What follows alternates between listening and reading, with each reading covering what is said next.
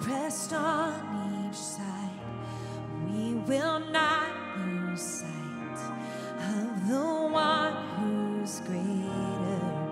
Let's lift our voices. One day.